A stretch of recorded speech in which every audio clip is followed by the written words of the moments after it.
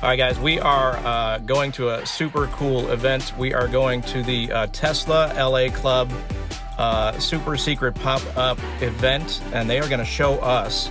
What are they going to show us? The new Model S Plaid. Oh, I can't wait. It's going to be awesome. Stick around.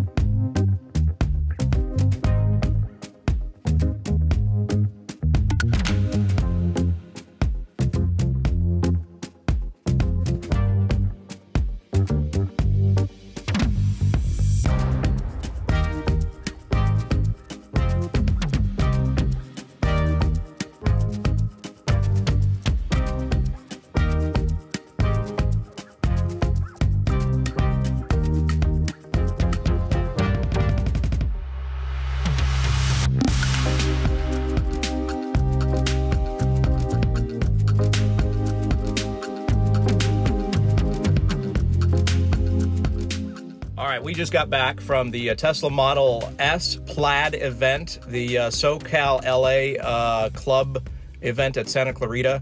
It's one of the first 25. Do you have something to say, Marcus? No. You- you- it was pretty cool, right? yes. Oh, I, I mean, and they put all three of them back to back to back the uh, first gen, next gen, and, and the latest gen. Uh, the owner was super pumped. She was uh, up at the event with Elon. It went to like one in the morning.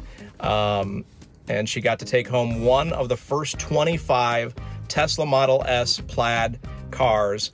And that's signified by the logo on the back hatch. Only those first 25 are going to have that, that badge. All the other ones are going to just say plaid on them. So sad. You see what I did there? I rhymed. I like rhyming. So, all right. So, very cool. Uh, thank you for hanging with us. I hope you enjoyed the video and the photos. Thanks to Marcus there for taking the extra video and photos. I think we got a good coverage of this. How cool was it that it was signed by Franz or Franz? Someone's leaving the car.